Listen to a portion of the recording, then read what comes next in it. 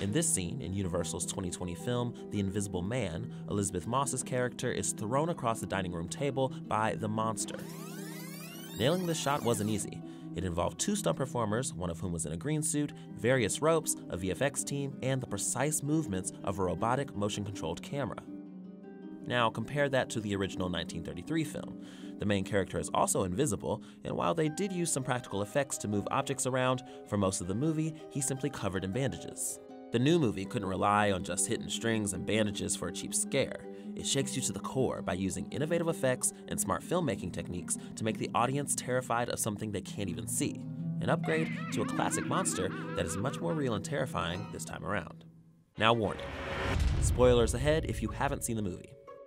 To see how far we've come, we have to look back to 1933 and to this man, Claude Rains. He's the actor who played the Invisible Man in that film. To create the illusion that Rains was invisible, the filmmakers wrapped parts of him in black velvet and filmed him in front of a black background. This made whatever part of his body that was supposed to be invisible seem to disappear. Look, he's all eaten away. Otherwise, the rest of his clothes appeared to float in the air, a gimmicky look they tried to avoid in the new film.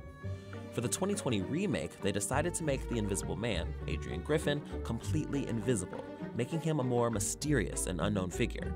And thanks to technological advances in the decades between the two films, they could do it.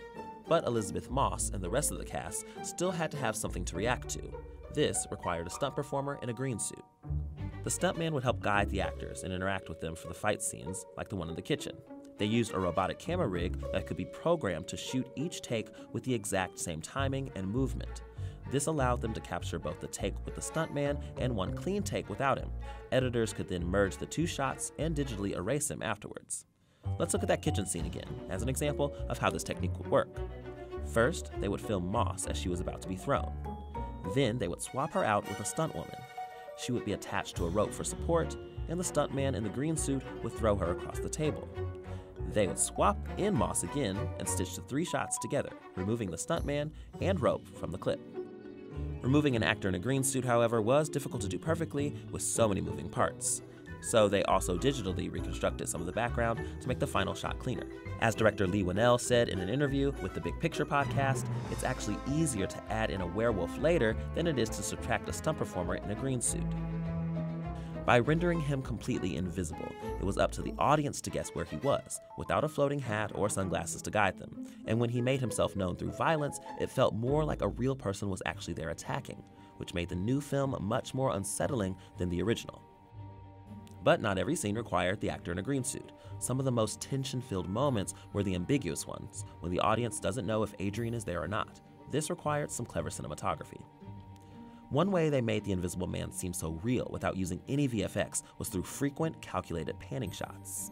In most films, regardless of the genre, the camera pans to a specific character or object to focus the audience's attention. Take a look at this scene from The Revenant. The camera pans to the left to show the bear approaching Hugh from the woods. And in The Shining, while Danny is hiding in the maze, we see the camera pan to the path, showing his father limping around with an axe. We as the audience have come to expect someone or something to be in this space after a pan. But the invisible man subverts our expectations and pans to nothingness, just an empty space. When the camera stops, Adrian should be there, but he isn't, and this creates a sense of uneasiness for the viewer, putting us in the mind of Cecilia, where we also feel haunted by an invisible threat. The other key to making the cinematography scary was to use the negative space. Basically, they filmed lots of empty spaces where the characters might be, even though you can't actually see him, and the audience is never quite sure. Much of this was accomplished through unusual framing, leaving extra space around or behind Cecilia. You assume he's standing in the corner or sitting in the chair, which makes the audience uneasy. For example, look at the interrogation scene. The corner of the room is bare and in frame. Cecilia and the audience assume he's standing right there in the shot, listening to everything. One of the kitchen scenes is a wide still shot. It lingers there for a long time after Cecilia leaves the frame. This was intended to be a moment for the audience to frantically search the image for any signs of Adrian. Whannell says he wanted you to be afraid you would miss something. The director confirmed that the Invisible Man is in most of those shots, but only he knows exactly which ones, and there are only a few where the character is not present where we think he might be. Aside from using the camera to film negative spaces, they also used it as if it was a character of its own at certain points in the movie. The same robotic motion controlled camera used for the kitchen scene we mentioned earlier had precise controlled movements, just like Adrian, since the camera represents his presence in a lot of the movie. For example, in the hallway scene at the psychiatric hospital, watch as it quickly darts back and forth and even bends to the side.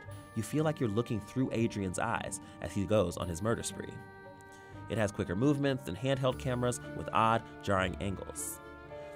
Using a robotic camera meant that actors had to get their timing right and hit their marks perfectly because the camera doesn't stop. It's programmed to go through a specific set of motions at a specific pace. By combining all of these elements, Whannell created a believable, terrifying character that we think is on screen but hardly ever see, without requiring any gimmicky bandages or cliched, spooky dark sets.